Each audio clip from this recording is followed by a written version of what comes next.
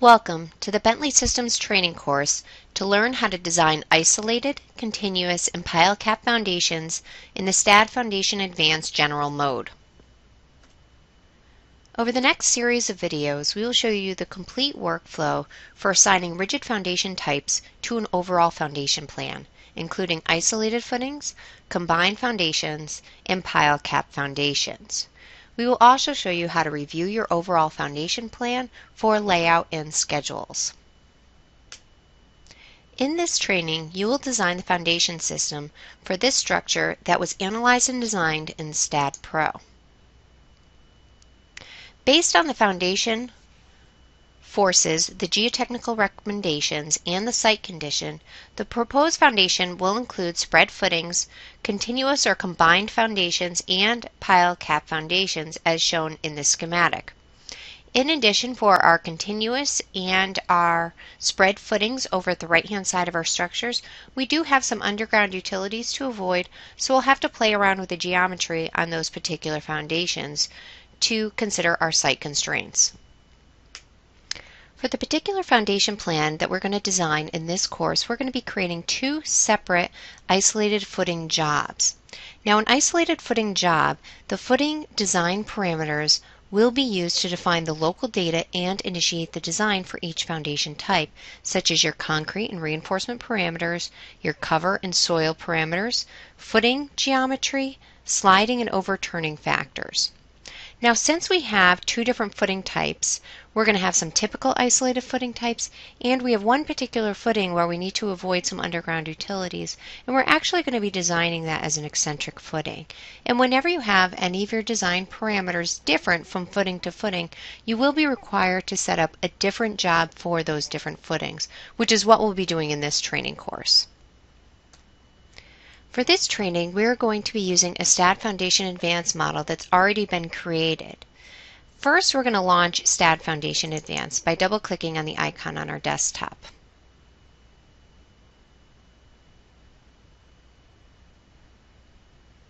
Once the Start page opens, we're going to go ahead and open our dataset file that was supplied with this training.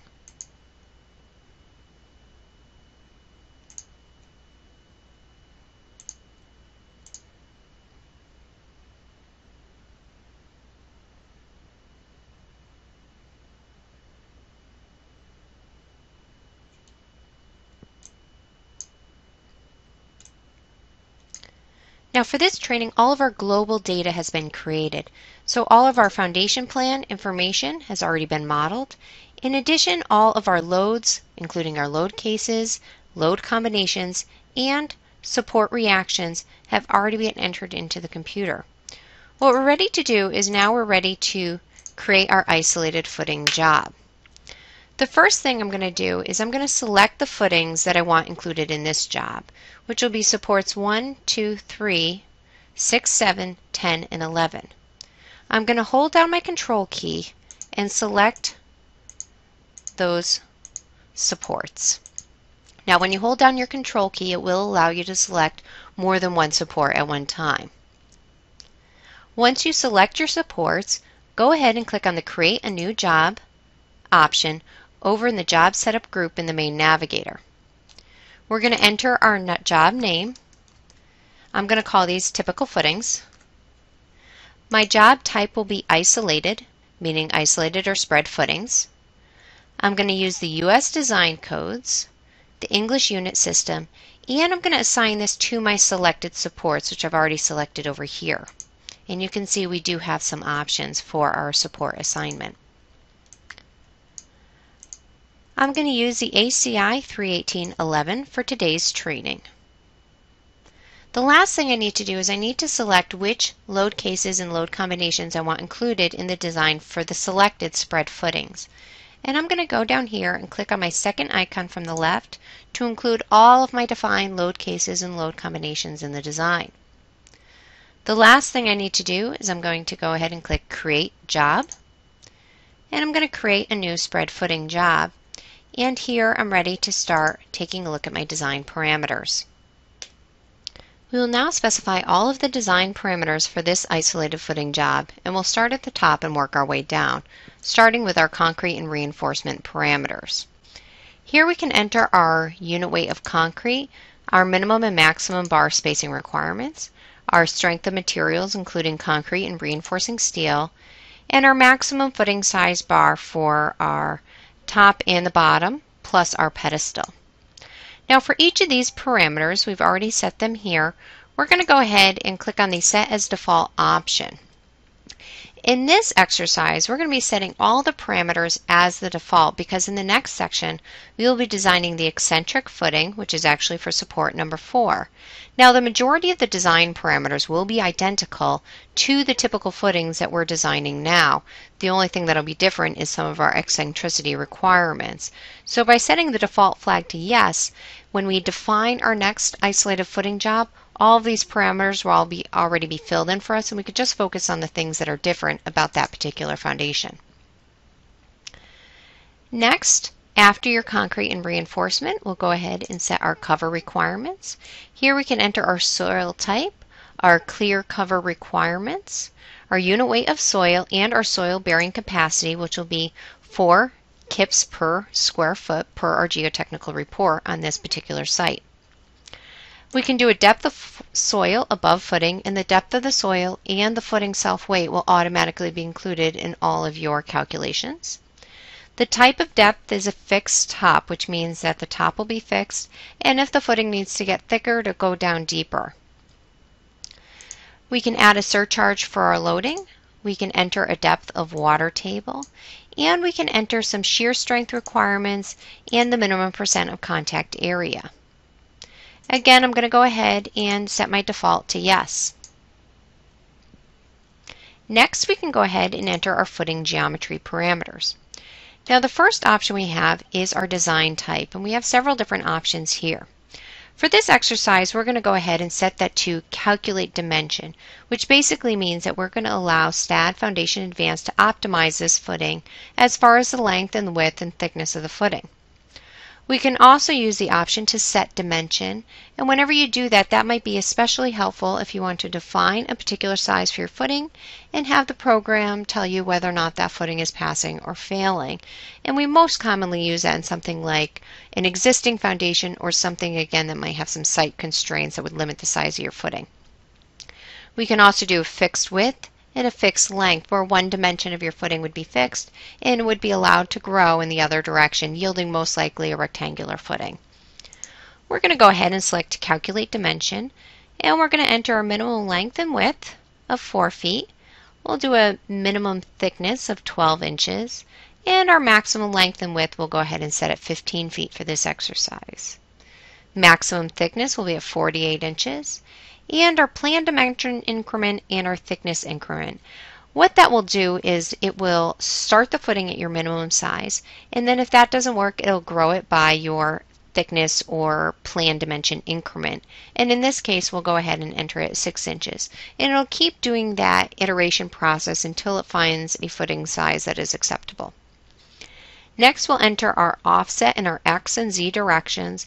And for this exercise, we're designing concentrically loaded footing, so we'll leave both of those set at 0 inches. Lastly, we're going to set our length to width ratio, and we're going to leave that set to 1, which basically means we would prefer a square footing.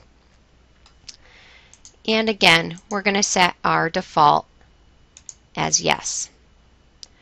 The last parameter we're going to enter is our sliding and overturning factors. And these are basically your factors of safety that you're going to be using against those types of stability checks. We're going to enter a coefficient of friction of 0.5, again, as recommended by our geotechnical engineer. And we're going to enter a factor of safety against sliding and overturning, and we're going to leave those set to the default of 1.5. Now before we go ahead and design, it's always good practice to go ahead and save your model to make sure all of your changes are captured. After the design parameters are all entered, we are now ready to design the foundations that are within this foundation design job. Over in the main navigator, we'll again go back to our isolated footing job and click on the design command, and then we'll confirm the analysis and design by clicking yes.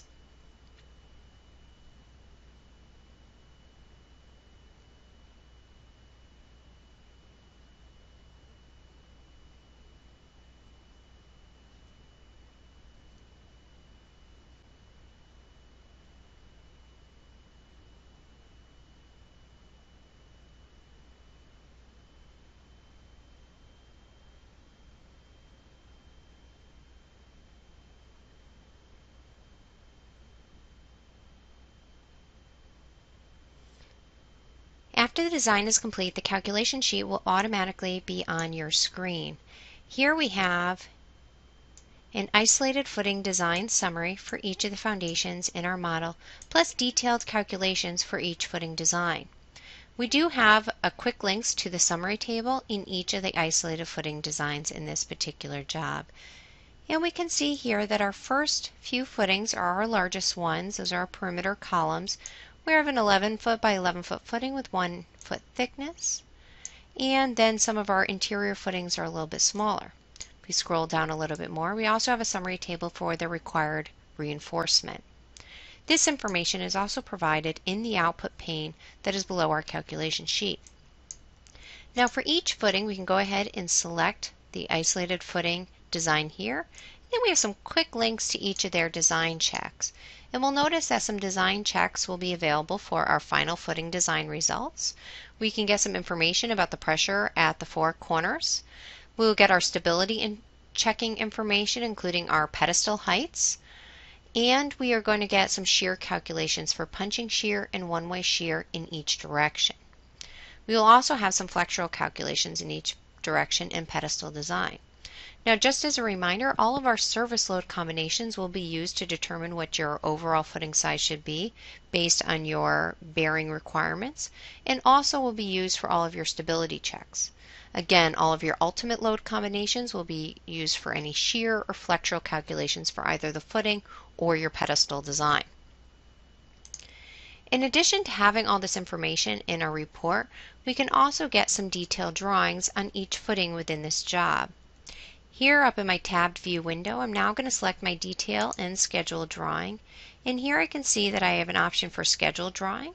And this includes so far just the footings that are in this particular job and if I click on their detail drawing, I can see a detail of each footing, including some plan dimensions, I have an elevation, and I have some more details about the footing reinforcement and also the pier reinforcement. I have this information for each of the footings in this particular job. I can customize any of the CAD information on this drawing by changing my font sizes, my text colors, my line thicknesses, and so forth. I do have an option to also save the drawing as a CAD file, and this might be a great way for you to use STAAD Foundation Advanced to assist you in creating your final construction documents. Now after the design is complete, we're also going to go ahead and click the Save icon to capture all of these results.